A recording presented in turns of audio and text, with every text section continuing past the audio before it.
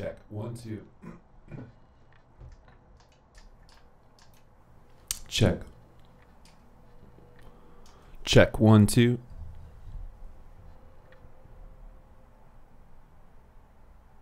Check. Check.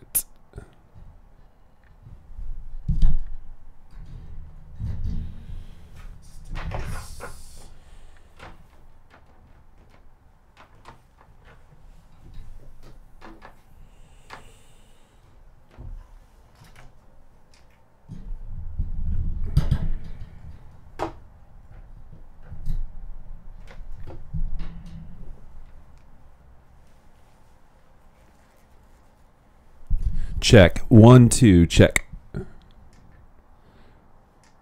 Check. Check. One, two. Check. One, two. Check. Check. Check. One, two. Check. Check. One, two. Check. Check. Check. One, two. Check. Check. One, two. Check. Check. Tss, tss. Check, check, one, two. Sorry, guys, I'm just mic checking this so I can hear it better.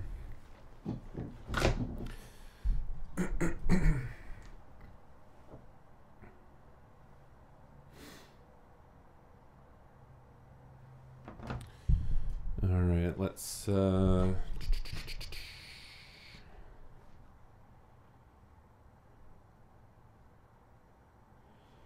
do this.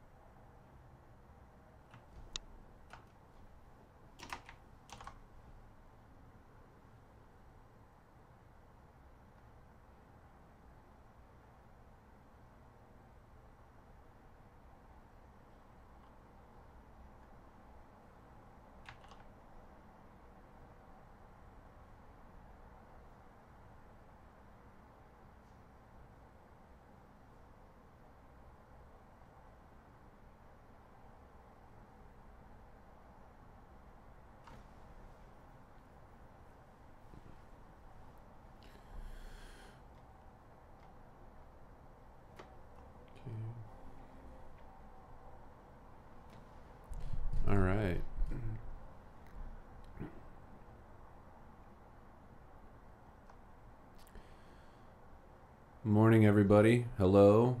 Good to see you. How's the sound? It does my is my voice coming through clearly?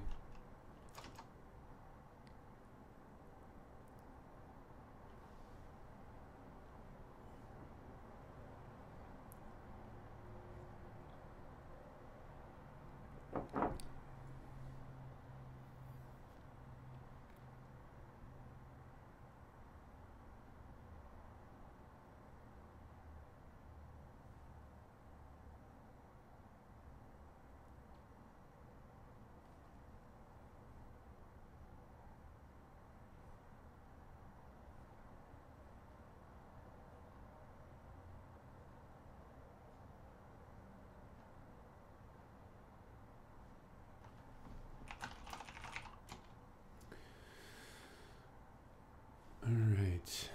So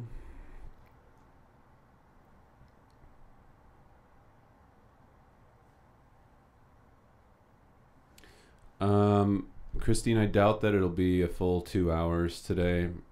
I'll probably go on for about an hour and a half or something like that, maybe an hour and 20 minutes or something.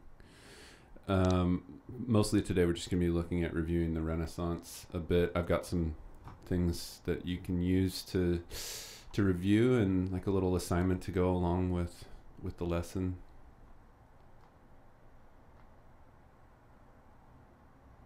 Um, let's do this.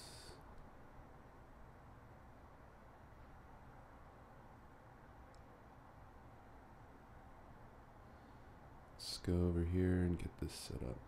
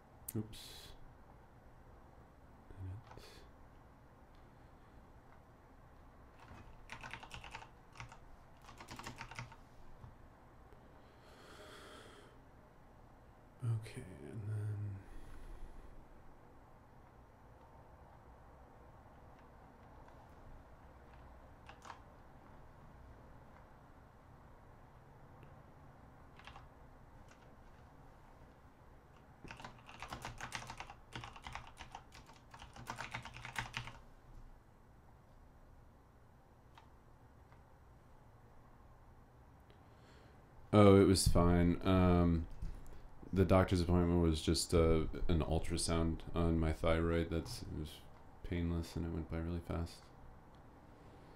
Um, let's see. So that's good. I think that this should be the next one.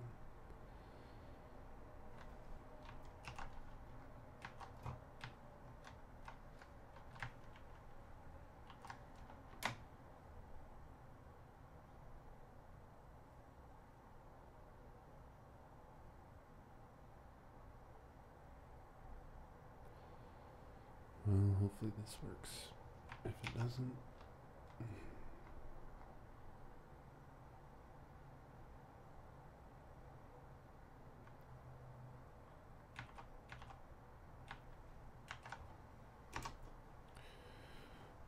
AP Central.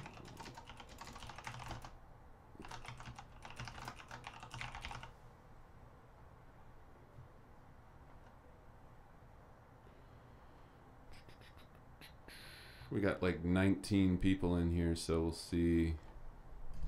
We'll see where things go from there. Give people a few minutes to join still.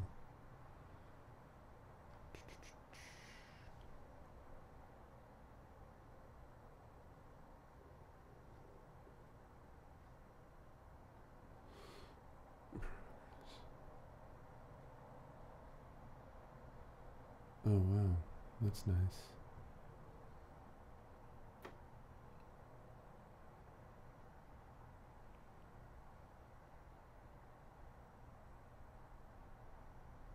Okay. And we can close that. oh wait. This. And link. Whoops.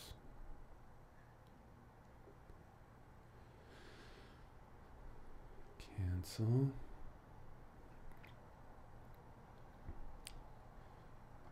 Add the link to the video here.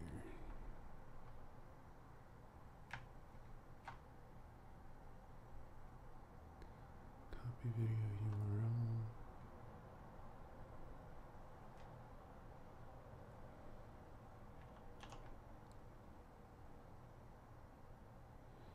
And then this is lecture. Wait. Add.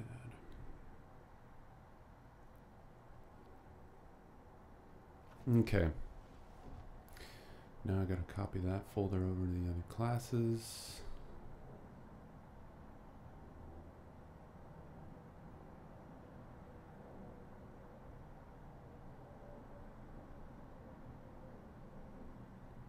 Okay. Should be good to go. Well, folks, I'm going to go ahead and get started here. Hopefully, um, hopefully, this will be helpful to you guys. Remember that I am on about a 30 second delay here. Hey, Yoey Jow. Good to see you. Um, Benjamin, good morning. Renee, good morning. Jackie Peng, good morning. Hello to all of you. Colin, Alex, Samuel, it's good to see you all in here. Um, so today we're going to do a little bit of lecture or I, just just review really on the Renaissance. I decided that today we would start doing a little bit of review of previous units that gives us a little bit um, you know of uh, of an edge in terms of being prepared for anything that's thrown at us on the on the AP Euro exam. So hopefully, um, hopefully when you guys take the test in a little bit, uh, in about a month here, you'll feel like, hey, I, I'm I'm ready to take this, and I'm I'm I'm can answer anything that they throw at me. Remember, it is a DBQ as well, so it's not just about rote memorization of facts, but um, more about placing the DBQ into the context of what you know. Because um, you know the thing about these DBQs is that if you're not using the um, if you're not using the documents to answer your your argument or to uh, substantiate your argument, then um, and you're only doing it off of what you know, then you could potentially end up with a with a pretty rough essay. So um, I want to do a couple of things here. First of all, um, thank you for joining up. Secondly, um, I will say that I've added a new lesson folder onto Schoology for what we're going to be doing today. Um, I'm going to also, while I'm at it here, um, download something that maybe you've been using already. I don't know if you've used these or not, but I'm going to show you um, some some things that you can use to to review that are already available to you on Schoology, and uh, just take a few minutes to to talk about the Renaissance and and review some of the big ideas that we talked about there. So let me go ahead and switch over here to my desktop so that you guys can see what's going on. Let me um, make this smaller first. I'm gonna do this. I'm gonna switch it over to that tab, and then hmm. Okay, let's do this. I'm gonna close this. Just trying to clean up my desktop a little bit because I've got kind of stuff everywhere open right now. So I'm trying to like make it more presentable and organized so that you guys can follow what's going on. Okay, I think that should be good. Now, uh, first thing I want to show you guys here is you can ignore, I'm going to move this off to the side you're going to be able to see, um, I have Schoology pulled up here. And let me pull this over here a little bit. Okay. So I got Schoology pulled up here, and I want to just take a minute to show you some of the things that you do have available to you. Um, in this green folder here that says review materials, now I know I'm on period zero, but it doesn't matter which period you're in because all the folders should be identical to one another. Um, you're going to click on this review materials folder. And at the top here, there's another purple folder that says chapter review guides. And you can click on that. And included in here, I have a number. I did not make these. I, I, I stole these from another teacher. Well, she gave them to me. But um, anyway, I, I thought that she did such a fantastic job. I asked her for all of her review sheets that she created, which are these little PDFs. And this takes and really boils down and reduces the big concepts of these units. And th some of them are combined. So this one's both Renaissance and Reformation. So this is actually both Unit 1 and 2. But I wanted to take a minute to show you these. Um, it'll pop up with a preview here. You are also able to download it if you so choose. And you can open this up and you'll be able to see um, some big ideas uh, of the Renaissance and, and Reformation further down here. And it's not to say that this is an end all list, okay? Certainly there's other things that you could study uh, pertaining to the Renaissance and the Reformation. This it doesn't have absolutely every fact ever known to man about the thing. Obviously, it's a pretty condensed deal. But I would say that if you read through this and you have a pretty good idea of some of the things that it's talking about, um, you can use this if you get to a particular part and you say, oh gosh, Northern Renaissance, you know, I don't remember what that was compared to the regular Italian Renaissance. I forget the difference between those two things. then then use that as an opportunity. The really the the way to use these is as you're reading it to be asking yourself questions. Do I understand what I'm? You have to kind of use some metacognition. Think about your thinking. Uh, don't just read it and say, "Oh, okay, that happened." You have to ask, "Do I really understand what's going on here. Emergence of a wealthy merchant class. What does what does that mean in Italian Renaissance? Well, we get the Medicis, for example, right? We have these wealthy banking merchant class families that um, are increasingly living a kind of more urban lifestyle and trading along the Mediterranean and so on. Okay, but we see new industries like bookkeeping open up, new markets for goods. Uh, remember that Italy was like the center of Mediterranean trade at this time. They have monopolies on trade goods like wool. And um, so Italy is really the center for the revival of trade after the uh, after the Middle Ages, right? The late Middle Ages, which was a time of, like we talked about in class with William Manchester's book, A World Lit Only by Fire. Um, that book described just how dark the Middle Ages really were and how um, uh, you know the kind of like historical differences that people um, of that time, the 1400s and earlier, had compared to nowadays, which is you know people were very very. It was just a totally different society back then. Okay, uh, Italy definitely economically fueled the Renaissance. All right, it definitely fueled the Renaissance. The Renaissance was a revival or a rebirth of all of these different ancient Greco-Roman art, architecture, literature, things like that. And Renaissance society at this time is a very feudal society. So remember that Europe, in the early days of Europe, it was super, super feudal.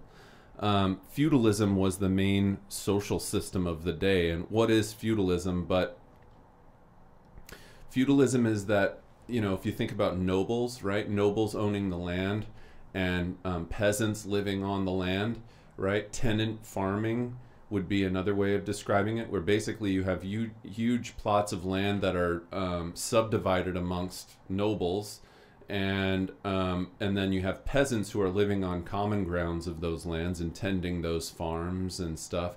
It's subsistence style farming for the most part across Europe. They're doing just enough farming to get themselves by. It's not like plantation style farming where they're working endlessly all day, every day, every day of the week, uh, every week of the month, every month of the year. What is going on back here? Harrison, you're freaking out. Chill out, Harrison. Now, um, so that's that's feudalism, and there's there's a whole social system at this time. Remember that Italy and all of Europe in the 1400s there's a there's a very rigid social order and and that extends even into the heavens where we have God at the top and then maybe you know Jesus and then Mary and the saints and then angels and then remember that there's it's a the way that they structure society back in those times isn't just as simple as first second and third estate. Every everything in the world that these people had ever conceived of had a known orderly place in the creation of being where um, to to leave that place and either elevate yourself to another level or um, or reduce yourself to another level um, was difficult. Um, there, there's not much social mobility at this time. If you're born a peasant, your kids are going to be peasants. Your kids' kids are going to be peasants, just like your father and your grandfather and your great grandfather were all peasants as well. It's just how the social system works at this time. Now, down the line, we do see some changes to that, particularly in France, where we start to see things like noble of the robe titles being sold and stuff. But generally speaking, in the 1400s and 1500s, very rigid social order of being, and and that extended into every realm of life. That could include secular titles like king or um, you know, Duke or Baron or Earl or whatever else, like the noble titles going all the way down the scale down to more like gentry level people like knights and other people like that. And then you get further down yet and you get into like your yeoman farmers who are independent but not of any social standing and own a piece of land themselves, but it's usually a small piece of land and they just kind of tend that farm on their own. and then all the way down to like peasants, and then below peasants, of course, you have slaves. Which in Europe at this time, slaves are not widespread. They do exist, um, but they're not. It's not. We're not to the age of exploration yet, and so we haven't seen the rise of the Atlantic slave trade in the 1400s because the Atlantic slave trade doesn't exist yet until 1490 after 1492 when Columbus sails across the ocean. So um, to talk a little bit more about Renaissance society, okay, let me uh, zoom in a little bit here so you can see this perhaps a bit better. First, second, and third estates, just to remind you, first estate is clergy, second estate is going to be nobility, third estate is everybody else. And especially in the early days, uh, the vast majority of the population falls into the third estate. The, the first and second estate um, are, are very, very small. Although in Italy, um, you do see a widening um, um particular segment of the third estate called uh, the bourgeois class, right? The middle class. You kind of have these wealthier merchants, okay? The nobles themselves were expected to be pretty well educated. Uh, remember that phrase, Renaissance man, Castiglione, the book of the courtier, okay, training somebody on how to be a proper noble. And we talked about that in class. Um, Castiglione's book of the courtier, or the courtier, which talks about uh, how the ideal noble is a Renaissance man, somebody who both knows how to fight, uh, or at least won't back down from a fight, but at the same time is a man who is um, able to be learned, who is a poet, who is well read, who is devoutly Christian, meaning Catholic at that time, um, and so on and so forth. Okay, so they were expected to be um, jacks of all trades, in a sense, all right, good at a lot of different things. Now, women at this time, of course, don't have any political or economic rights. They have a lower status of, in men, both in public and in private spheres, meaning both in like a public city uh, walking around, uh, but also within the household. Um, they were more or less expected to bear children and manage the house. Sometimes you do see, though, um, what we call like family economy uh, during this time, where women did play vital roles in supporting men in doing things like bookkeeping or assisting in shops or even doing some of the labor themselves uh, for the family style economy where you had these small trades that were family owned and the woman might be the person who is kind of up front dealing with the customers the wife that is and then the husband maybe back working on cobbling shoes or something like that. Um, now, the, it's different from the Middle Ages when women um, could work in shops or even serve as guild masters. We do see in many places, this is the thing that's tricky about this. What I just described to you, that family economy, takes place in a lot of places in Europe, but the reason that we're mentioning it is because we're starting to see that change in Italy. Okay, so women's roles are changing. Uh, where in the Middle Ages, women could work in shops, even serve as guild masters at times. Now we're seeing the roles of women change a bit uh, marriages at this time are often arranged. Business deals uh, were used to uh, bring families together, increase the status or wealth of a family by marrying into a slightly wealthier one. Um, dowries were a very common thing at this time as well, where the male family had to provide, uh, excuse me, the female uh, family, the wife's family had to provide a gift to the husband's family to go along with the bride um, so as to kind of like uh, send their daughter away with a certain amount of kind of a startup uh, contribution to the marriage, and then thereafter it would have been the expectation of the husband to take care of his wife. And of course, this factors into our story in the Renaissance because uh, this very thing, dowries, uh, and the role of women comes into play when we talk about Catherine of Aragon, who was sent from Spain to England to marry the first son, the eldest son of the new English Tudor dynasty king, uh, Henry VII. And Henry VII had a son named Arthur, who, from the time that Arthur was an infant, uh, was betrothed to a baby girl infant um, to be married when they are of appropriate age. And um, so when she is 14 or 15 years old, roughly, she is sent up from Spain to England to settle and live her life as the um, English princess at first because Henry VII is still alive at that and marry his son Arthur. And then when Arthur became king, uh, then she would become Queen of England. Well, it doesn't quite work out that way. If you remember the story, Arthur ends up, first of all, not being that interested in women. And then, secondly, um, he ends up dying of tuberculosis. And so she's kind of left kept around. But the main reason that she was sent to England is because England had reached out to Spain to try to secure a Catholic ally. Remember, at this time, England is Catholic uh, under Henry VII, and um, and they reached out to Spain to find a common ally against the French, who were traditionally going to war against the British with the Hundred Years' War at that time. And um, and the dowry that was sent along with Elizabeth uh, was substantial to Henry VII, and um, he was very, very much more excited about that dowry arriving of a bunch of Spanish jewels with uh, with the Princess Catherine of Aragon than he was about the princess herself.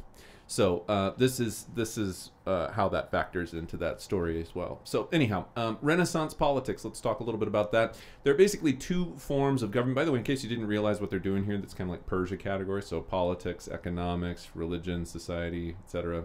Not all of it, but uh, two forms of governance. You had kind of national monarchies or city states at this time. So Italy is made up. It's, remember that Italy and and um, the Holy Roman Empire remain divided at this time.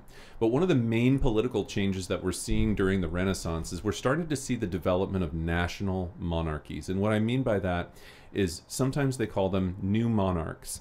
So previously, in a more feudal Middle Age Europe. Um, uh, Middle Ages Europe or, or Dark Ages Europe, um, um, power held by the king was far from centralized because um, transport is difficult, communication is difficult in Europe at this time, and um, a lot of power rests with local. Um, here, I'll turn this over here. A lot of power rests with local um, local lords. So, kind of like if you think about the story of Robin Hood and how the sheriff of Nottingham's had so much local authority. The king doesn't doesn't really have a whole lot of mm, individual localized power at this time because the farther you are away from the king, um, and if you think about it, like France, you, may not think of France as being a large country by modern day standards, but remember that the world was a much smaller place back in the old, or uh, excuse me, a much larger place back in the olden days. Today, it's a much smaller place. You can get places pretty easily today using cars and modern transportation, planes, and so on. But back in those days, they didn't have any of that. And traveling across land was really difficult. And it took a long, long time. And it was also super dangerous. It was easy to get lost. It was dark. You had highwaymen out there who would rob you. It's a, it's, it's not a, it's not an ideal climate. And so the farther you are away from from the king the more local regional power that you're going to have as a as a as a noble. You don't even have to be the king. Locally pretty much all the affairs would would settle on whoever ran things locally. But we start to see that change in the renaissance and that's the kind of the trend that i'm trying to talk about right now is these new monarchs these new monarchs are doing what they can to try to consolidate their power, to try to reduce. They're beginning to, they're not all the way there yet. We're going to get there when we get to the age of absolutism in the later 1500s, early 1600s. But, but in the Renaissance is when we start to see kind of um, national monarchies develop, where you have a king of England who is who is really doing a making a concerted effort to try to consolidate his power and um, and we also see new monarchs quite literally in the form of of new dynasties. So in England, we've got a brand new dynasty after the War of the Roses in England, which was basically uh, a, a, kind of a dynastical war between um, disputing who should rule England, and that the War of the Roses was between the Lancaster. Uh, the Lancastrian um, branch of the of the Plantagenet dynasty and the Yorkist branch of the Plantagenet dynasty. And so these two factions were fighting against one another for who should be the proper uh, ruler of England at that time. Lo and behold, there's a war at the Battle of Bosworth Field, or a uh, battle at the uh, Battle of Bosworth Field, where um, Henry Tudor is victorious in this battle and uh, slays the existing king, whose name was Richard III. He was the guy that had scoliosis, and uh, they found his body under a parking lot about five or ten years ago. Anyhow, um, so uh, you might remember some of these stories. I'm perp- I'm deliberately trying to jog your memory a little bit in terms of some of the things that we talked about during the Renaissance. So Henry Tudor, that's one of the new monarchs. Another new monarch that you could look at would be. Um, let's see here. Uh, the the king and queen of Spain. So Spain previously uh, had been a kind of a fragmented monarchy. They had the the um, uh, what's called the uh, Kingdom of Castile and the Kingdom of Aragon. So Ferdinand of Aragon, Catherine of Castile. Um, excuse me, not Catherine. Um, Isabella of Castile. Catherine's her daughter and Isabella of Castile and uh, Ferdinand of Aragon, and they married, and and and at that point is when their uh, two kingdoms became joined together. So that would be a new monarch. Um, in Russia, although I scarce I shouldn't really bring Russia into this conversation, but down you're going to see down the line here the Romanov dynasty starts in Russia. Um, and then you've got the Habsburgs, right, in um, in Austria, and um, and so that's another uh, significant monarchy at this time. And then you have the, the Bourbon dynasty in France, which, um, well, it's not the Bourbon dynasty yet. It's the Valois dynasty in France, but it's going to be the Bourbon dynasty in about a century here when we get to Henry IV, Henry the Good King. So that he's the first of the Bourbon dynasty. But um, we've got the Valois dynasty in France right now. Sometimes uh, the wars between France and Austria at this time are called, um, sorry if it's echoing, I can maybe move this away a little bit. Um, the war, uh, the Habsburg Valois Wars, um, or the Franco-Italian, or the, the um, Franco Franco-Austrian Franco-Austrian Wars, but mostly they're called the Habsburg Valois Wars because the Habsburgs and the Valois dynasty in France didn't get along very well with one another at that time. Um, is the echo okay? I don't hear an echo on my side, so if there's, hopefully it's not too echoey. But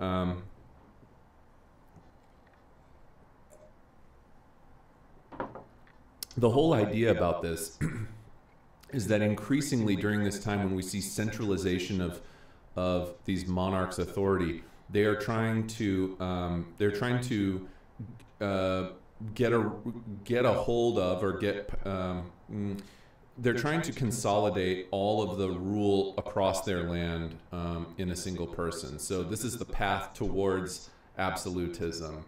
Um, it's not absolutist yet. There's still a lot of regional authority. That's why I'm skeptical to mention Russia as a new monarchy because it's really technically not yet. Russia's still far backwards. And remember that um, even even into the 17 and 1800s, local um, local um, boyars or, or, Russian nobles tended to have a lot of authority. The farther away you are from, say, St. Petersburg or Moscow, um, the further you go into history, the the more difficult it's going to be for the Tsar to to really micromanage what's going on that far away because Russia remains so far. It's huge, and then it remains so far under industrialized even after 1800. So um, I, I, shouldn't mention Russia as a new monarch, to be honest with you. France, Spain, England, but definitely not Italy, because Italy is run on city states at this time.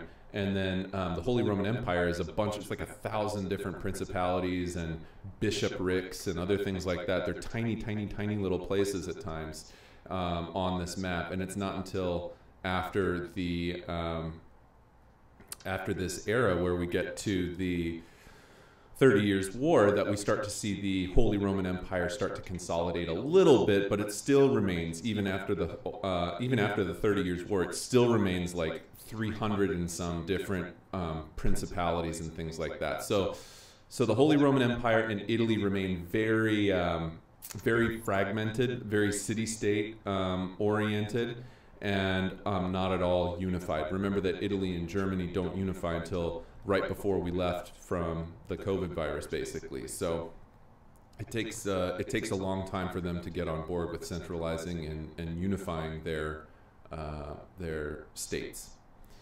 Okay, mm -mm -mm let's move back over here to this thing again. All right, moving down. Um, The Peace of Lodi, uh, 1454 balance of power amongst the five Italian city-states. The big ones being Florence, Naples, Milan, Venice, and the Papal States. The Papal States is where the Pope is.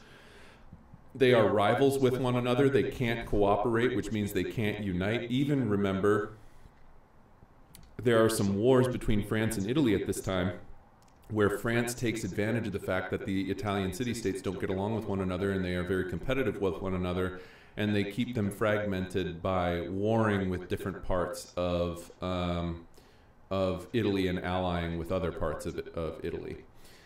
Uh, so disunity made them very susceptible to attack, both from from Spain and from France. So the Italian city-states, for all of their advantages with trade and merchant uh, merchant type jobs and stuff like that, um, they remain kind of politically pretty weak. And that's, by the way, where we get Machiavelli, right? And Machiavelli, his whole thing on the Prince was uh, critique of of you know Italian politics at the time, and and Machiavelli was frustrated that Italian uh, rulers of these city states seemingly couldn't.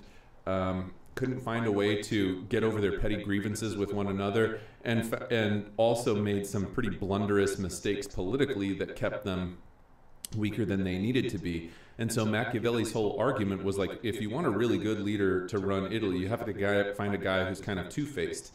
You have to find a guy who's a good politician, who's going to be willing to kind of, you know, uh, you know, hit people where it hurts, but at the same time, uh, turn around and kind of be benevolent at times as well. A guy who's who's more feared than he is loved. And so this is this this Machiavellian approach to politics is what was what Machiavelli thought would be the prescription towards eventually unifying uh, Italy. And um, it's not to say that he's wrong, but it just takes a really long time for that to happen uh, because Italy will go several centuries uh, continuing to be fragmented and, and finding themselves uh, weaker and weaker and weaker politically as well as militarily to, compared to, say, a place that's centralizing like France. Okay, uh, moving on. You've got uh, the art of the Renaissance is obviously a huge part of the Renaissance art, a rebirth of the ancient Greco-Roman classics.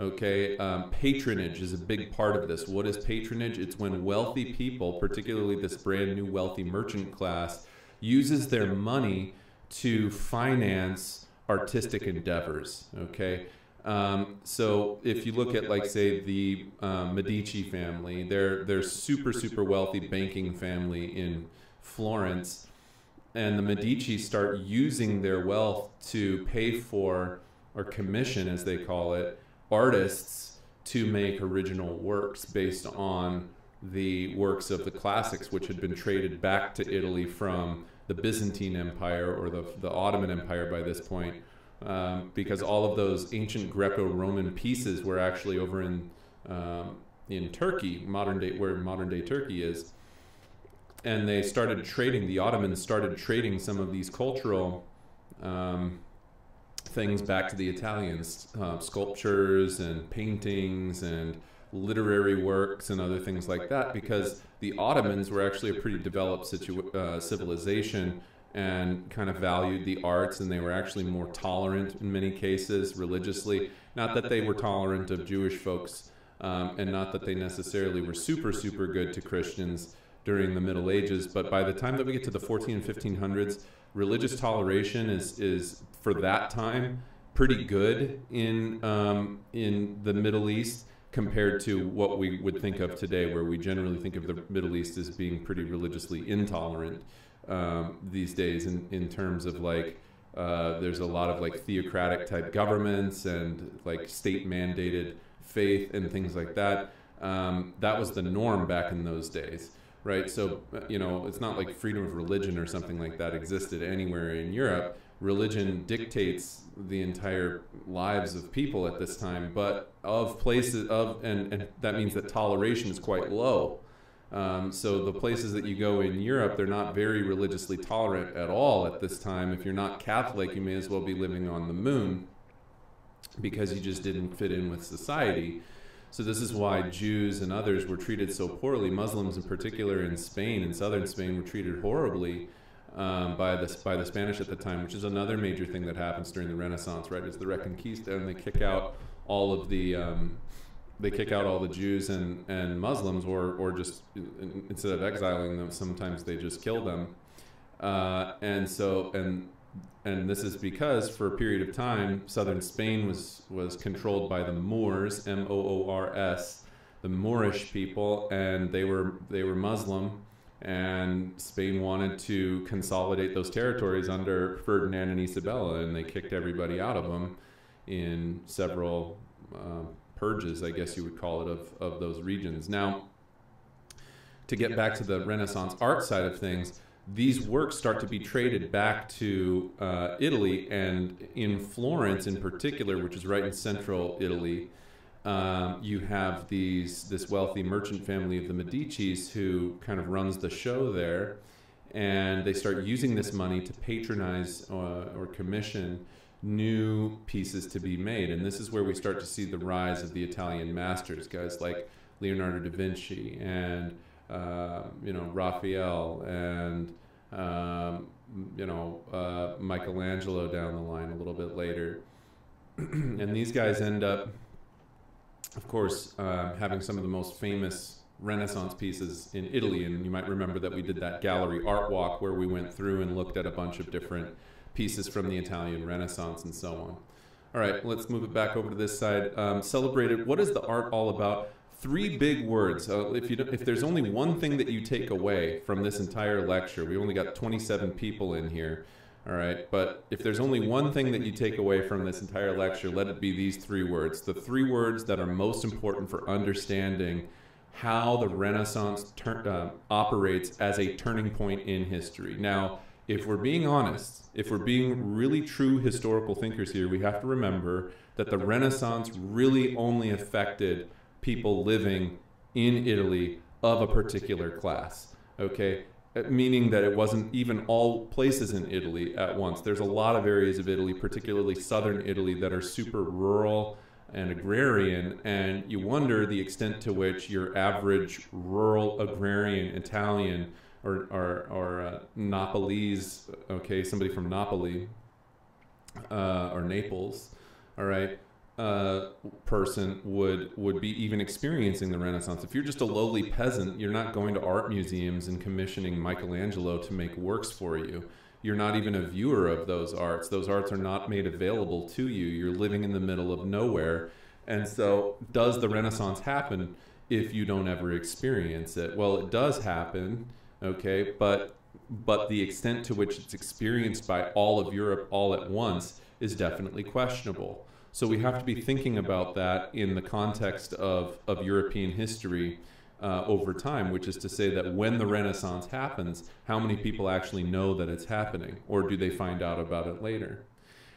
If the Renaissance, though, is a turning point in history, then we would have to have these three words to characterize why the Renaissance is a turning point. I wonder if, in the little thing, and I'm going to give you, because I'm on about a 30 second delay, I wonder if any of you can say the three words that I have on my mind as to what characterizes the Renaissance as a turning point in European history. What three words am I going to say? I'll give you a hint. All of them end in ism.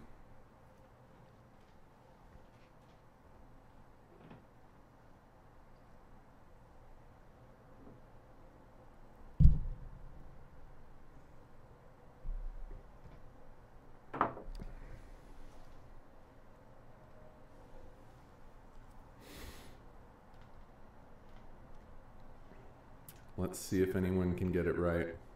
I'm very curious to see if you can get this.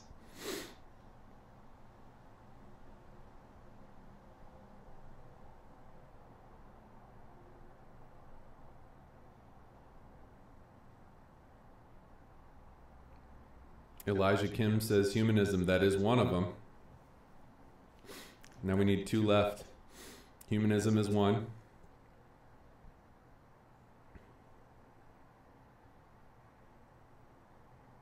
Sorry, it's going to be a little bit of a slow response because there's such a delay here. But I don't know who but Pepsi is, but yes, individualism is one as well. Nice job. And then, yes, secularism is the third one. Nice job, guys. Really, really good. Okay. Nice. So, humanism, individualism, secularism. Let's talk about those three terms a little bit uh, to to make sure that you all know what those three words and how that how they're characterized in the Renaissance. So, you might know some examples already. We've talked about these terms before. In fact, I think when we first did the Renaissance, we had even um, an SAQ that had something to do with individualism and uh, and uh, secularism and and um, individualism. So let's talk about these three terms. Okay, so individualism. Keep in mind that uh, during the late Middle Ages, right, you basically have a society made up of people who, who, according to William Manchester in the World Lit Only by Fire book that we read, um, have virtually no sense of ego. There's no sense of self. You have all these grandiose cathedrals uh, in Europe from the Middle Ages, and we don't know anything about the people who built them because the people who built them over the course of, in some cases, decades and decades and decades, some cases even longer than that. Uh, we don't know anything about the nameless people, the countless nameless people who went into constructing these massive cathedrals in, say, Canterbury or Chartres Cathedral or something in France. And, um, and so you have this kind of unusual lack of sense of self in the medieval man's uh, architecture, right?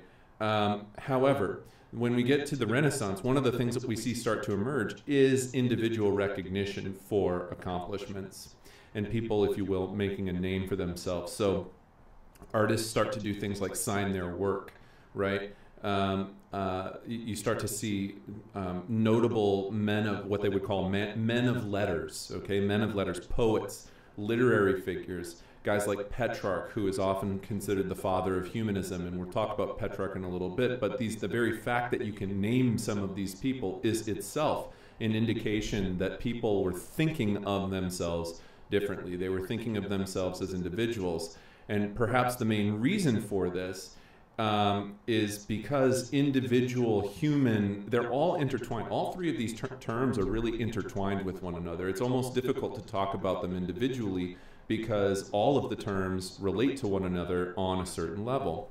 So, why does individualism happen? Why do people start thinking themselves as individuals? Well, it has something to do with the fact that in the Renaissance, we do see an, a change in the emphasis of what human what what humans mean to other humans.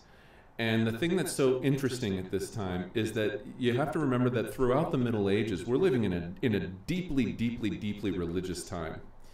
And people did not live for this life. This life to them was a struggle. It was an obstacle. It was a means to exist. And then true living, okay, happened in the afterlife where when you die, you go to heaven.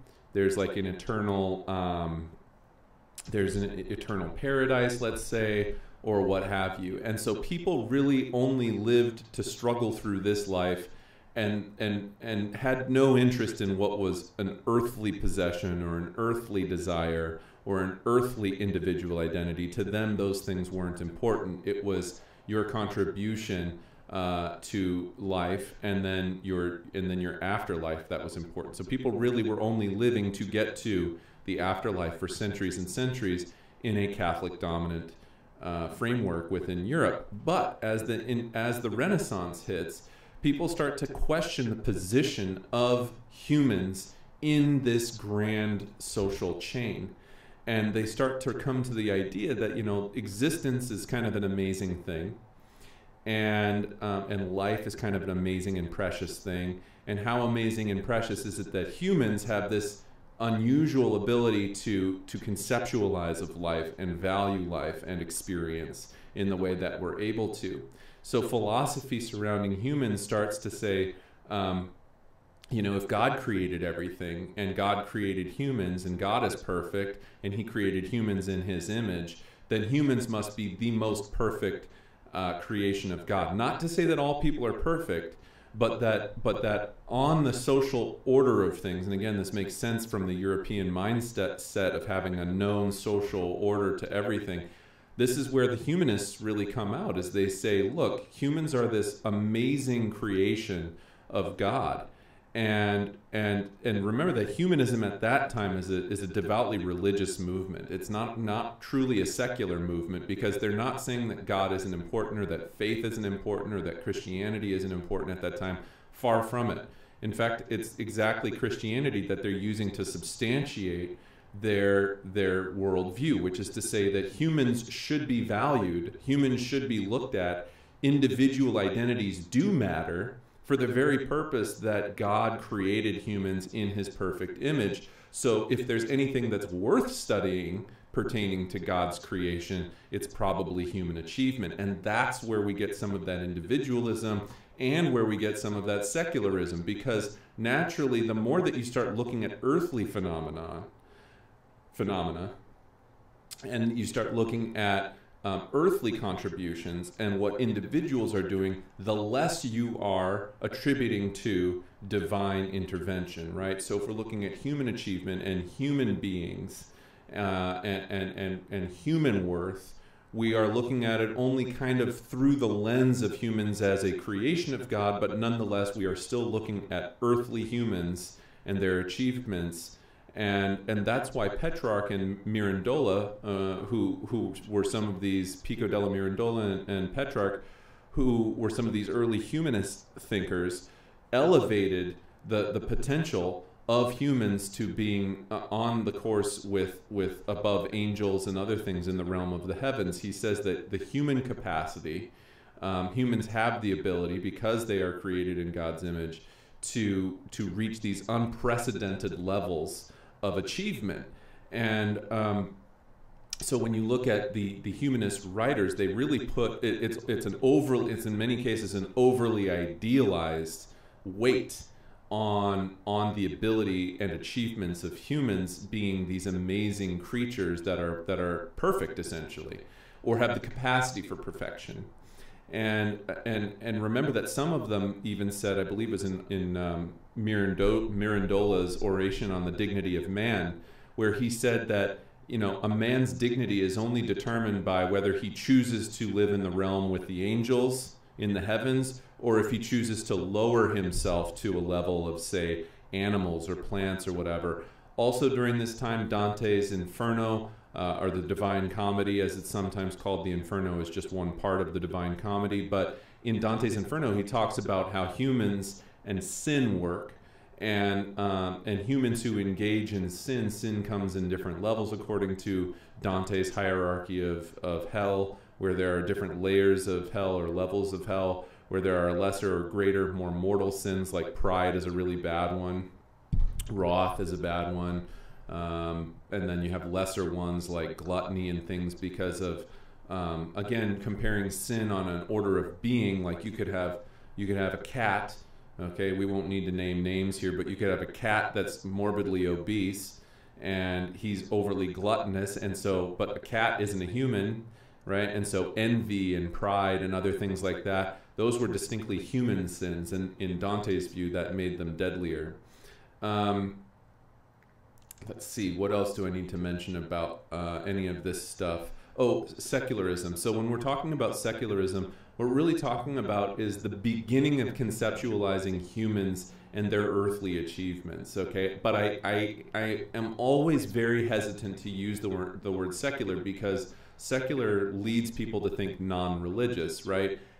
To be honest with you, the Italian society is still super, super religious at this time. So when I say secularism, I'm simply talking about studying human earthly achievements um, as a as as a product of um, of God's creation of humans. Okay, people still are intensely, intensely religious at this time, and um, and devoutly Catholic. Now, the Catholic Church has some things going on that are causing it to have some questionable reputability.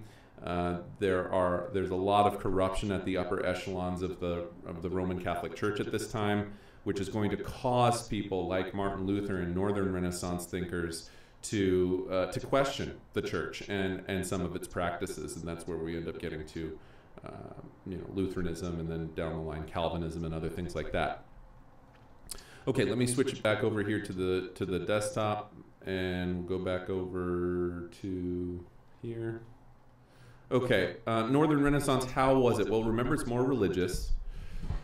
It's also a little bit more socially diverse. Okay, but it is more centered on religion, and it's also more literary than it is artistic. So you do see some art, and we've looked at some of these before. Painter of Peasants, you might remember that uh, that peasant scene that uh, was by Peter Bruegel the Elder. Um, and that was a famous. He's a famous Dutch artist. And then you have, um, and then you have Albrecht Dürer, who was a German uh, painter uh, with his self-portrait, and then Jan van Eyck with that famous one with the um, the family that's standing. It's like a guy with his hand up, and then a girl who's pregnant, and they're standing, and there's a mirror in the background and stuff like that. Jan van Eyck, you might remember it. It's got like uh, the guy's wearing like a green, or the ladies wearing like a green dress. You would recognize it if you saw it, the Arnolfini portrait. Humanism uh, was the intellectual movement of the Renaissance. I kind of talked about this already. Father of humanism was Petrarch. It's an elitist movement, okay, but what's the significance of it? Well, we're starting to see education spread to the lay population for the first time. It's the growth of humanist schools like the Platonic school in, um, in Florence, the Florentine Platonic Academy, uh, which was founded by Cosimo de' Medici. Um, the printing press, the Gutenberg printing press, is another major aspect of this unit. It led to an increased demand for printing, printed material, both secular and religious printed material. Keep in mind that at this time, a whole lot of people are illiterate. They cannot read. Pretty much the only way you would have been literate is if you were a wealthy, well to do uh, noble or merchant uh, of Italy or some other area of this time. And if you did read, chances are the only thing that you were able to read was Latin because that was the only thing that things were printed in until we see the printing press with movable type by Johannes Gutenberg. And when the Gutenberg printing press starts to spread around Europe, it's only then do we see materials that are started to be printed in local vernaculars that people actually speak and use with one another on a daily basis. Because by this point, Latin is a dead language of about a thousand years. And no one really speaks Latin in their everyday lives. It's purely used for for um, writing and religious purposes. And remember that all masses and stuff like that were conducted in Latin as well. Uh, the there's created a more educated population in at least in urban upper echelons of society that started to question the status quo. In other words, uh, what you know the status quo is just that is tradition, right? That's all it means really. And they start to challenge traditional authorities and thirst for new ideas. And Christian humanism was the idea that they use uh, that humans' main goal is to better society through religious reforms and um, so some of these northern humanists, Christian humanists, like, for example, Thomas More, who wrote Utopia, which is an early, early work on how to create a more perfect society through religious reforms, as well as Erasmus.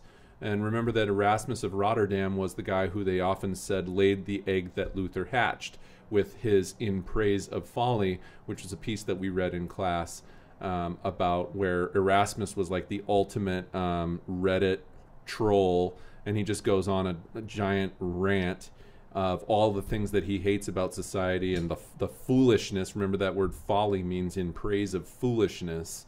And he talks about all the foolish behaviors that he felt that people were um, exhibiting at that time that seemed to stray from the principles of the Bible. Then you've got these new monarchs I talked about before England, France, Spain, per particularly. You've got the Valois dynasty in France, you've got the Tudor dynasty in England, and then you have a new dynasty of uh, of Catherine of Aragon and Ferdinand of Castile in uh, in Spain there, and eventually, of course, the Spanish uh, throne gets taken over by the Habsburgs uh, after Charles V, who was the Holy Roman Emperor during the times of Martin Luther. Um, Spain had the strongest army in Europe at that time. They also had a relatively uh, uh, powerful navy, which uh, an economy. Remember, Spain at this time also controls the Low Countries of of um, Netherlands, Luxembourg, and Belgium.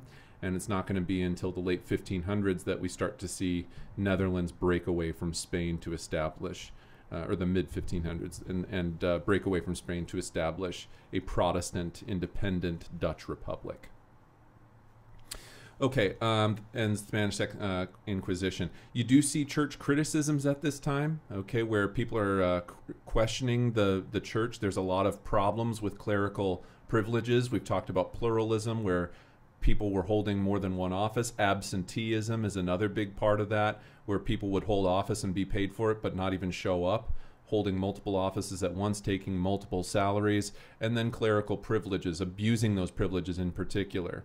And, um, you know, the popes were engaged in all sorts of really uh, what we would probably qualify as sinful behavior, right? Between um, sex scandals and um, murders for hire and all sorts of crazy stuff was going on at this time.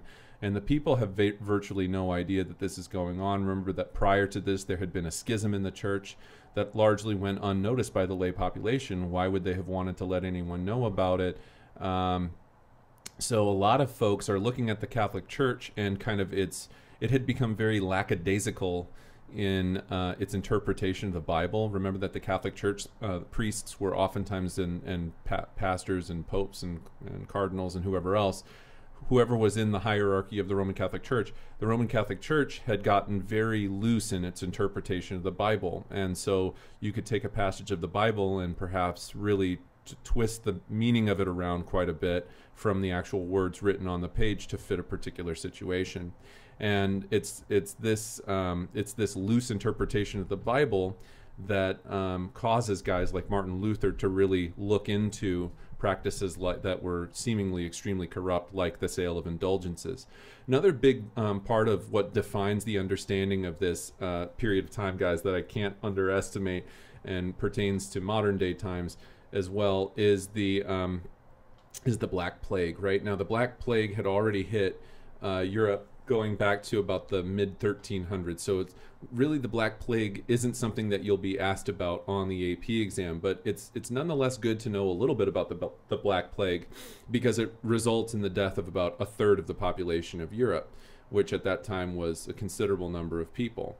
And um, this is going to have a vast, vast um, uh, this is going to have a vast effect on the European economy because um, when you see a whole bunch of the people who are wealthy, they would go and stay in their country homes and stuff like that away from urban areas. And chances are the wealthier populations are not going to be hit as hard as the poorer populations, which live. Um, you know, in in relative squalor in urban areas and stuff like that. And so the thing that's um, that's important to remember about this is that there's going to be kind of a huge price revolution. Hey, will you guys stop fighting and being knuckleheads? They're playing with it with each other, and they sometimes get a little bit rough and bite each other and stuff like that. They act like, boy, let me tell you, these cats have been something else. I'm about fit to be tied over here after dealing with these guys for the last three weeks. But anyway, so um, I'm so happy to be doing this. This is so much better than just sitting and, and watching the cats do their usual routine. These days, I, I tell time by where the cats are laying in the house. Oh, it's 3 p.m. because Harrison's on the couch. You know, I know where all of their uh, I know where all of their sleeping spots are nowadays. They they have their little routines. It's actually rather entertaining. You can tell that my life has been really exciting lately. Anyway, uh, point being that uh, point being, I forget what I was saying. Oh, about the Black Plague that there's a huge economic fallout. The the the harder hit populations are going to be people living in urban areas in Italy and stuff like that in those places like Florence and Rome and so on. And um, and so kind of like with the modern day COVID situation, the virus is going to be able to spread much more quickly where populations are dense. And um, you, we were starting to see urban populations be very dense because they were medieval cities, right? They're walled in. So they're literally walled in. They live really close with one another.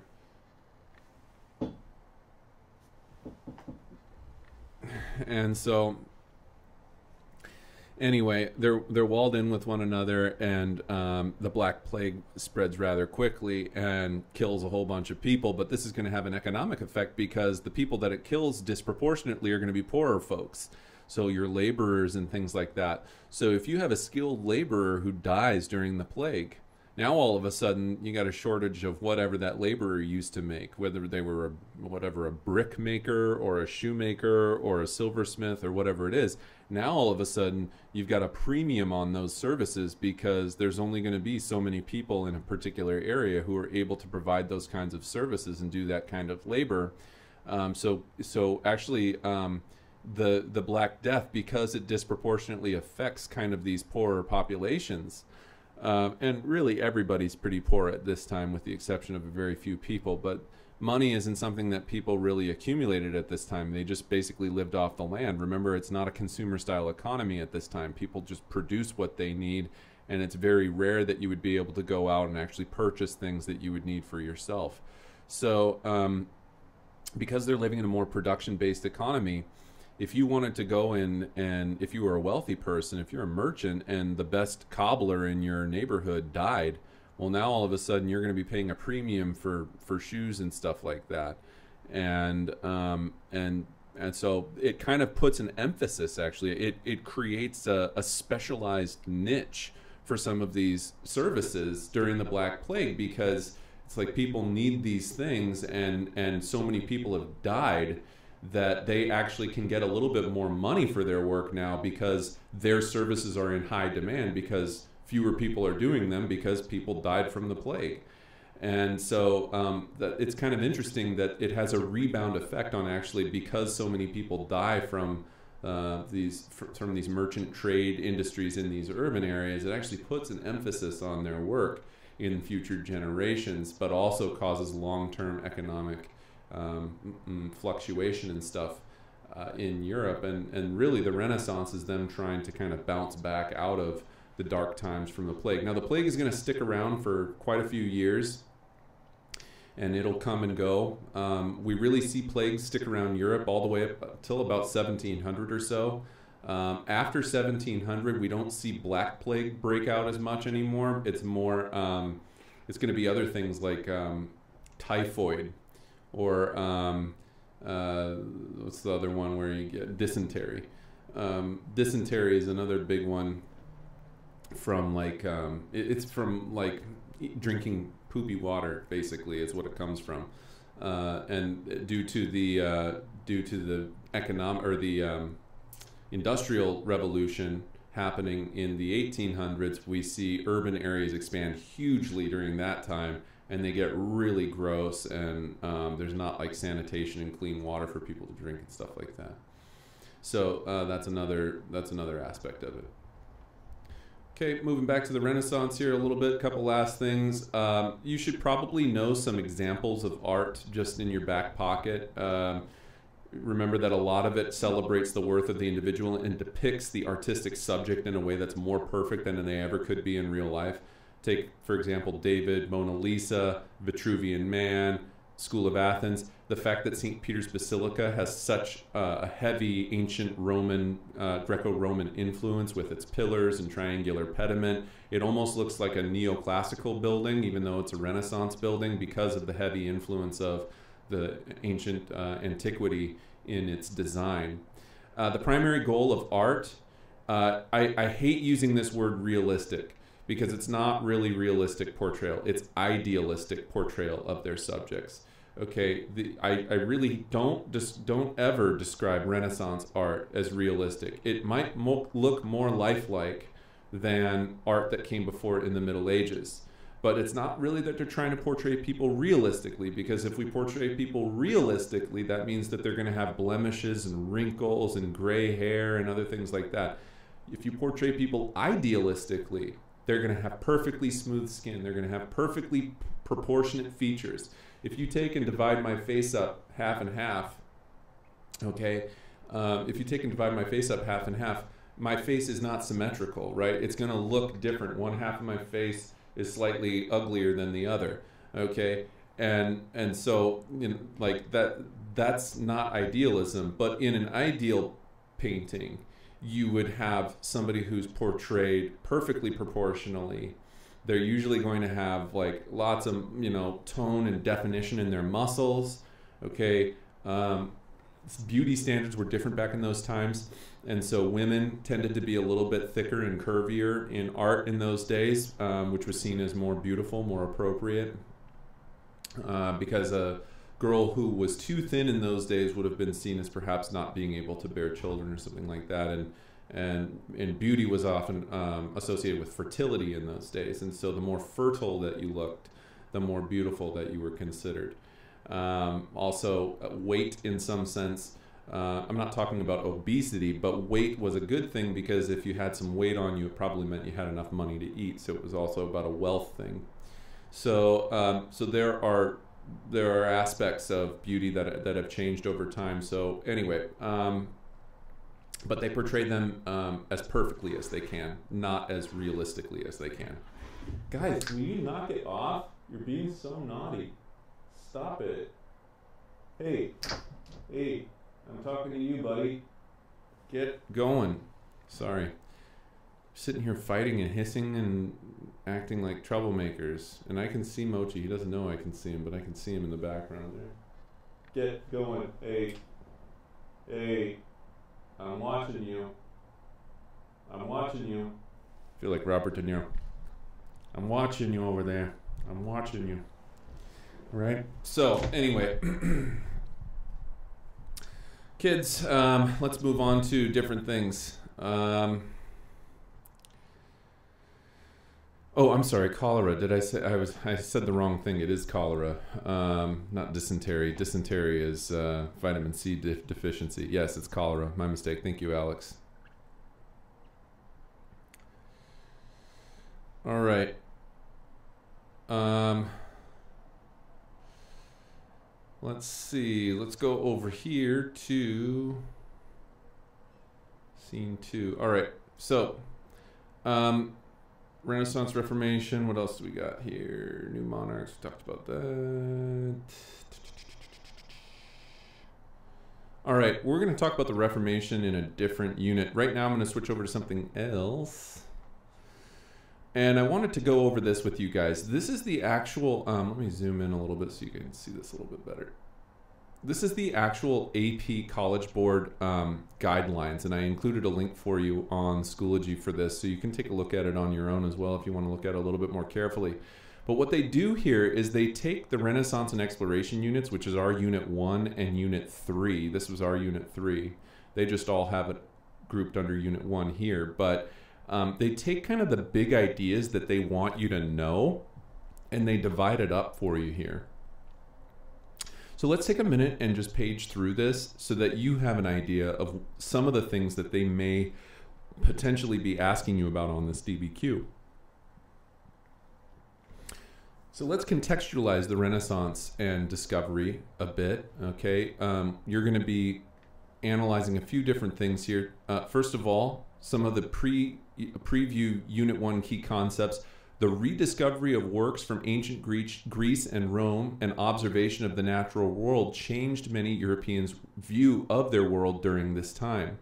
We see a revival of classical texts, which led to new methods of scholarship. Remember that previously the um, the type of scholarship was scholasticism, which was mostly rhetorical arguments surrounding the Bible, and it was only done by pretty much clerical type people who education was often very much linked with the church back in those days and new values in both society and religion. It gets replaced by a new humanistic style of learning where we see philosophy of math, philosophy of science, philosophy of philosophy, and so on um, studied at universities, which again, remember, are very much tied to churches at this time. The visual arts incorporated new ideas of the Renaissance, like humanism, like individualism, like secularism, and were used to promote personal, political, and religious goals. Europeans explored and settled overseas territories at this time, starting in 1492 with Columbus and then only increasing thereafter, encountering and interacting with indigenous populations over in other areas as well. And you, of course, have European nations being driven very heavily by commercial and religious motives to explore these areas. Remember the three G's God, glory, and gold.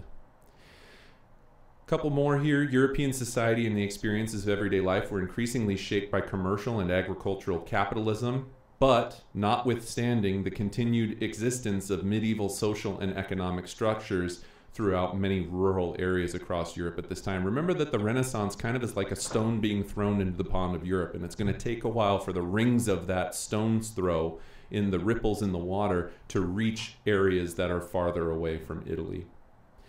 Um, so we do start to see some new economic patterns at this time because one of the first things that they start to do when they go over to the New World in the uh, 16th century, in the 1500s, is to set up, for example, the Spanish set up like the encomienda system to try to extract labor from the um, population. We'll talk more about that another day. Uh, thematic focus, the creation and transmission of knowledge, including the relationship between traditional sources of authority. Okay, I'm going to skip over that. That's not important. Let's read about this. Historical developments. Explain how the revival of classical texts contributed to the development of, of the Renaissance in Italy. Well, Italian Renaissance humanists, including Petrarch, who we talked about earlier today, promoted a revival in classical literature and created new philosophical and philological approaches to ancient texts. Some Renaissance humanists furthered the values of secularism and individualism. And then, uh, and that could include guys like Pico della Mirandola and, and so on and so forth. There's a name, there's a list of names over here on this side of people that you may want to know. Lorenzo Valla, Marsilio Ficino, Pico della Mirandola, Niccolo Machiavelli, Baldassare Castiglione. Some of these names are going to sound familiar to him. You don't need to know all of them necessarily, but you may want to have a few in your back pocket to pull out. Castiglione's a good one. Machiavelli's a good one. Mirandola's a good one. Valla's a good one. Petrarch's a good one. Um, and then, of course, you have a bunch of different texts that are, uh, and, and artists who are, um, are literary figures and sculptors and artists who are very important as well. So it says promoting, it says individuals promoting a revival. That would be Leonardo Bruni, uh, Alberti, and then Machiavelli. And then you got painters down here Michelangelo, Donatello, Raphael. Um, I personally, uh, well, Filippo Brunelleschi, he's the guy who did the dome of the Florence uh, Cathedral, okay, uh, Santa Maria uh, Cathedral in, in Florence. Brunelleschi was the guy who um, who uh, constructed that or designed it. Uh, humanist revival of Greek and Roman texts spread by the printing press challenged the institutional power of universities and the Catholic Church at that time, and it starts to shift the education away from a primary focus on the theological writings towards classical texts and new methods of scientific inquiry. And then you have an admiration for Greek and Roman political institutions, which also supported a revival of like civic humanist culture in Italian city states produced secular models for individual and political behavior and things. Now, in the Italian Renaissance, rulers and popes were concerned with enhancing their prestige, and the way that they did this was by patronizing the arts, commissioning paintings and architectural works based on classical styles of ancient Greece and ancient Rome. The developing naturalism in the artistic world and often the newly invented technique of the geometric perspective as well. So remember that some of the new techniques that they're using in art at this time could include um, linear perspective to create more proportional figures within the art as well as depth. Um, they want to portray things as um, as geometrically accurate as they can. Um, it's also where we see things like color being used and, and shadowing being used in a new way. There's a uh, there's a new technique called chiaroscuro, which was this light dark technique that um, that allowed for uh, much more accurate portrayal of depth and um, you know field of vision within the painting. Um, and then like um, you know a lot of classical figures were included in the arc. So if you think about like the school of athens for example includes guys like you know plato and aristotle in the main uh, center fit part of the thing. But you also had in there somewhere socrates and Pythagoras and other people like that who were considered important ancient Greco-Roman figures uh, who were portrayed right into the art. Remember too, in School of Athens, uh, as a, as a um, piece of evidence about individualism, uh, one of the things that you conclude is the fact that he painted himself into the portrait with all of these other greats, um, acknowledging the fact that he himself was aware that he was a master of his time. Um, and then you have other examples of that with Michelangelo's work as well, with the Sistine Chapel and things. Okay, so moving forward here, let's talk a little bit about the Northern Renaissance. Remember, the Northern Renaissance retained a more religious focus, which resulted in more human centered naturalism, considered individuals in everyday life appropriate objects of artistic representation, and uh, it was embodied in the writings of Erasmus, amongst others, uh, Thomas More. The invention of the printing press, we talked about that already, so I'm going to skip past that. Monarchs and princes, uh, Henry VII, Henry VIII, Elizabeth I, all of them are going to be of the Tudor dynasty. These new monarchies laid the foundation for centralizing the modern state by establishing things like monopolies on tax collection, um, employing military force, dispensing justice in a more even handed way rather than local justice administered by local lords. Um, one of the ways that the jury trial emerged in England is through some of these um, centralizing powers. And then gaining the right to determine the religion of their subjects as well as another major aspect of new monarchies because these monarchies dictated the religion that was to be practiced by their subjects. So in England, for example, Henry breaks Henry VIII breaks away from the Catholic Church, creates the Church of England, also known as the Anglican Church, and he makes that the legal uh, uh, uh, religion of the land and also makes himself the head of the church, almost as though the king and the um, and the pope are unified in the same figure, um, but not the pope, but the you know the leader of the Church of England. Across Europe, uh, commercial and professional groups retained more power or gained more power and played a greater role in political affairs and you see continued political fragmentation in Italy as well as in the Holy Roman Empire. Technological advances in the age of exploration, I'm going to save because we'll get back to that when we talk about reviewing that. Rivals on the world stage, we're going to save. Columbian exchange, we're going to save. Uh, slave trade, we're going to save. Commercial revolution, we're going to save. Uh, is there anything else I need to talk about with respect to the Renaissance, in particular the Renaissance? Uh, economic patterns, no. oh, causation in the Renaissance and Age of Discovery. Okay, so explain the causes and consequences of the Renaissance and Age of Discovery. Let's talk. I have a whole slide. You may want to go on the PowerPoint, by the way. I don't know if you guys know this, but on Schoology, let me, in fact, let me show you this here. You can go on Schoology to, let's say you go to your period that you're in, you click on Files and Links, I have still kept for you all the PowerPoints are right here in this gray folder that says previous PowerPoints. You can literally pull up all the PowerPoints that we have used in class all the way up through imperialism uh, right here on Schoology. And I strongly suggest that you take a look at some of these because if you pull up the Renaissance PowerPoint, you're going to find some really good slides in there that you could use to review things like what we're looking at right now, which is causes and consequences of the Renaissance and Age of Discovery. Uh, we still have 26 people in here. How are you guys doing? Any um, any questions or anything? Doesn't look like it. it looks like you guys are doing all right. So um, just to to kind of move forward here, um, talking about causes and consequences. Well, the rediscovery of works from ancient Greece and Rome and the observation of the natural world through looking at the stars in particular changed many Europeans' view of their world at this time. You have a revival of classical texts, which led to new methods of scholarship, new values in both uh, society and religion. The visual arts incorporated the new ideas of the Renaissance were used to promote political, personal, and religious goals. Uh, and Europeans go over and start selling. We have new things that get invented during this time as well, thanks to the Portuguese and their navigational um, technologies. So we start to see things like the lateen sail and um, you know car, uh, caravels, uh, caravel built hull uh, um, hulls of ships, H U L L, the hull of a ship, not a hole, a hull in a ship, and um, these these new hulls made the um, ship more seaworthy, so that it could be taken out on the ocean. Remember that the Portuguese. Well, we'll get to that. I, I won't spoil the the show on that one. We'll talk about that on a different day. Um, European society and the experiences of everyday life were, were increasingly shaped by commercial and agricultural capitalism. We talked about that, and that brings us all the way through there. Now, let's talk about a couple of things here, and, and here's what your assignment is going to be for uh, for today to get your extra credit points.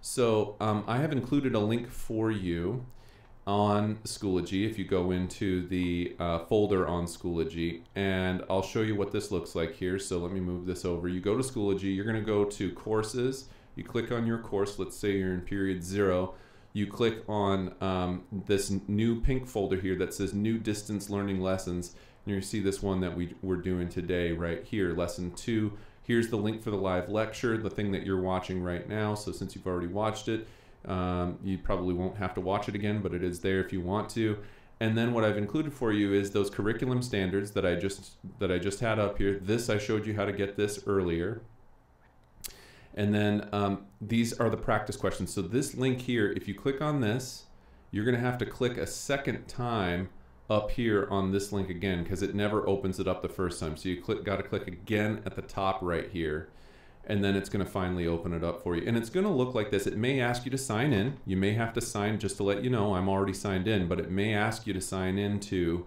AP Classroom or AP. Oh, see, it's asking me right now to do my password here. Okay, so I got to verify. Did it work? Uh-oh. Nope, it did not work. Might have to type it in here.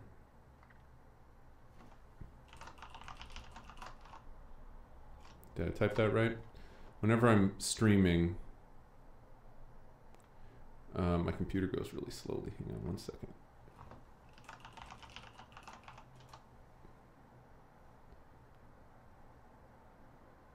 So it's going to ask you to sign in, and it's going to look something like th not this. it's going to look something like. Let me click this again.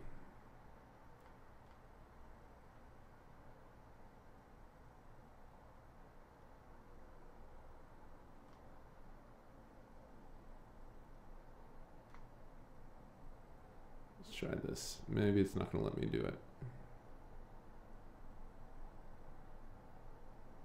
Wait, now it's logging me in. Did it work?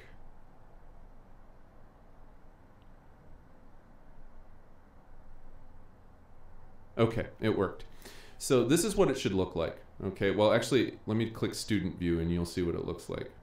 So you're, it, it's gonna look like this for you. Okay, this is how it's gonna look for you. And your assignment, okay, your assignment is gonna be down here and you should have already registered for the exam. Uh, you're going to click full assignment list, I think. Hmm. See, it doesn't let me, in student view, it doesn't let me do this. Let's do this here. Let's go to period zero. Well, one second. Let's do student view. I just want to see something here you're going to have to find a way. I don't know how to do it for students. What I know is you got to do, there's going to be a thing that says assignments here, okay? Ignore what these start and due dates are, okay? Just ignore those. But what you can do is you should be able to click full assignment list. And what you're going to look for is these questions right here called, one second,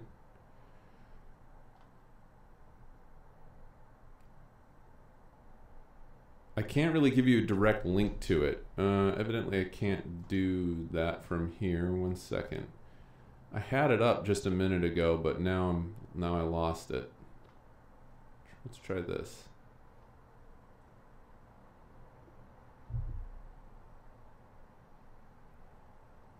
Hmm. You're gonna have to find a way to get in. There is a way of doing this. There's got to be an easier way. Um, there's got to be an easier way for this. So my AP College Board, back to AP Classroom.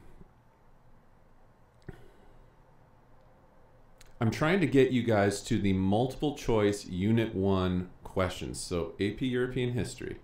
It should look like this. This is the page that I'm trying to get to.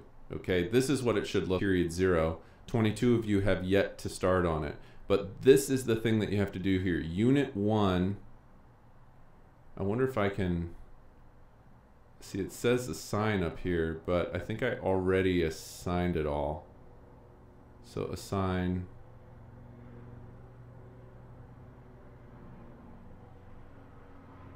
Okay, so yeah, it says it's already assigned or in progress. So you can just do this. It, you should have it in your list somewhere um, on there. Let me go back and see if you guys have been saying anything. Unit 1 progress check. MCQ. Yes, that is it. That is it. So, you're going to do that. Okay. And uh, now I'm typing to you, but so you're going to do that. And when you finish it, okay, it should give you a score. Okay. And I will be able to see that score. But we're going to, I'm going to have you do one last step. Okay.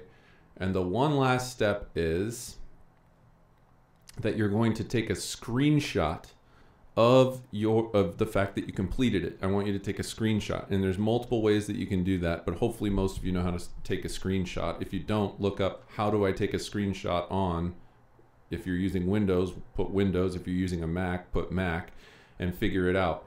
Um, but in, on Windows, you can use like snipping tool, for example. You just type it into the little search bar and it will pop right up, and you can just snip whichever thing you want, save it as a picture, and then upload that picture. And then what you're going to do is you're going to say you're going to upload that picture. I'm going to do this right now.